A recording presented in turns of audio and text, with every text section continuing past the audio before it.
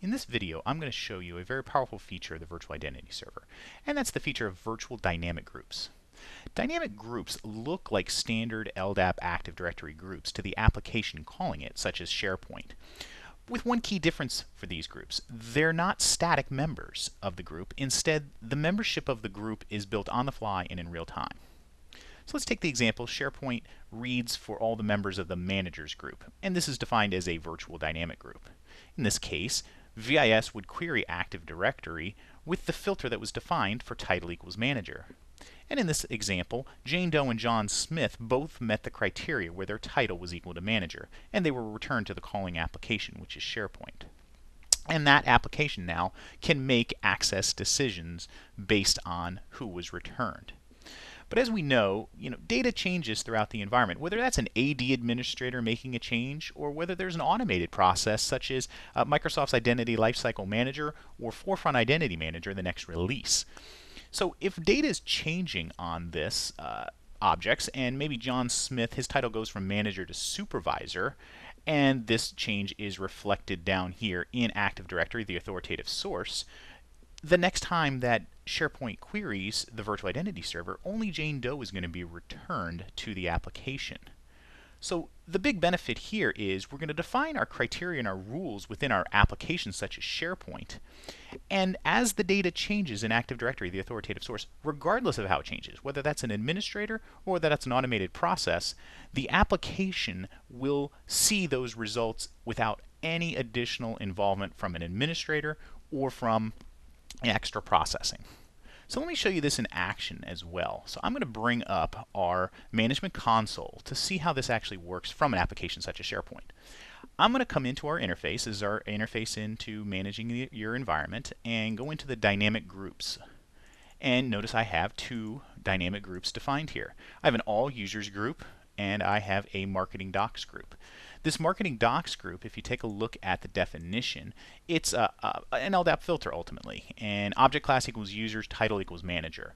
And what I've done is set that as the criteria, just like we saw in that PowerPoint, as who should be a member of this group. And if we take a look here, several people are members of this group, right? And this was a query that went through the virtual identity server, through the virtual directory, a real-time proxy. And notice that actually some of these people are from our ADAM directory and some from our AD directory because we have, of course, a multi-directory or a multi-forest view with the virtual identity server. So executing that query just ran across multiple directories. Um, just one other note, uh, in terms of developing these filters, you don't actually need to know how to develop an LDAP filter. You can use our filter builder application and actually add clauses uh, off of standard attributes, uh, anything with a starts with, contains with. So no LDAP coding is necessary, needed for your administrators to create these. So now let's take a look. We've, we've looked at several of these people in terms of who meets the criteria. Let's see how that looks actually within SharePoint and how we define those. So uh, I launched my browser and uh, I was seamlessly logged into uh, SharePoint uh, because I'm logged in as administrator here uh, into the box. And I do have SharePoint configured to the virtual identity server. So I can log in now with users from either that ADAM directory or from uh, Active Directory. I'm going to log in as John Smith, who's a user in Active Directory. And actually, let's come back here to our management console, and I'm going to launch our LDAP Manager browser application. So this is a standard browser, uh, LDAP browser. And let's go take a look at that record in Active Directory. Let's go look at John Smith, who I'm logged into SharePoint as. Uh, notice he's actually a member of two groups. He's a member of this all internal AD users and this all users. And actually both of those are dynamic groups. So I'm looking at the member of attribute on a user. And VIS is keeping updated and adding to Active Directory. So an application coming through the virtual identity server is also going to see member of. So not only if you query a group, but if you also look at a user and query their member of, VIS is adding to that these dynamic groups that a user is a member of. And uh, John Smith is a member of this uh, dynamic uh, group. He's also a member of an auto group. Uh, please uh, see the other video on auto groups to, to see about that feature. So uh, again, we're logged in as John Smith. Let's go to this marketing materials folder. Uh, if we take a look here, notice uh, I don't have full permissions logged in as, as John Smith into this uh, marketing uh, materials folder. And the reason is, is because uh, I don't have the appropriate permissions. So I'm going to go ahead and change his title from supervisor to manager.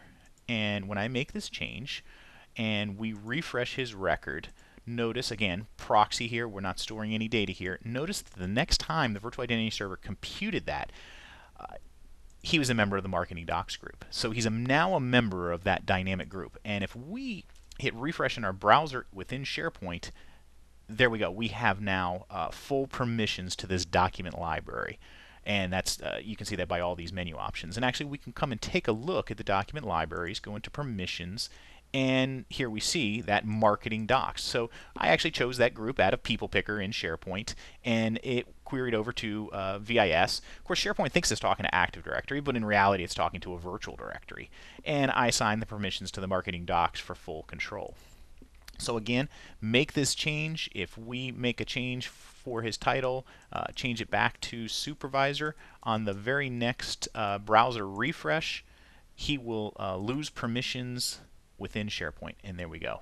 So what this means is, is uh, SharePoint administrators don't need to get to get in touch with Active Directory administrators and create these groups. For most of the document library permissions uh, within SharePoint, uh, for example, you are able to set up your rules, define who would have access, and then as the data changes within your environment, people are automatically removed or added in terms of access to SharePoint. This greatly reduces the administration and the cost and the complexity of an application such as, such as SharePoint.